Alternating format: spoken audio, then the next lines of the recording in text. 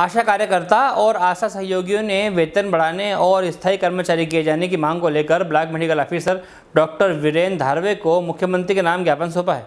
सामुदायिक स्वास्थ्य केंद्र बांकानेर अंतर्गत कार्यरत 11 आशा सहयोगिनी और लगभग 160 आशा कार्यकर्ता कार्यरत है। उन्होंने आशा सहयोगिनी शर्मिष्ठा सोनी के नेतृत्व में स्थायी कर्मचारी का दर्जा और आशा को एक दस हज़ार वेतन और सहयोगिनी को पंद्रह हज़ार वेतन मांगों को लेकर block medical officer doctor Virendra Dharwe को ज्ञापन सौंपा है। साथ ही कहा कि हमारी मांगे शीघ्र मानी जाए, अन्यथा इक्कीस तारीख से हम अनिश्चितकालीन हड़ताल पर जाएँगे।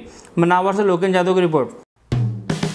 हेलो फ्रेंड्स आप देख रहे हैं हमारा channel S W twenty four news हमारे सारे वीडियो सबसे पहले देखने के लिए आप हमारे चैनल को सब्सक्राइब करें और पास में लगे बेल आइकोन को दबाना बिल्कुल भी ना भूलें।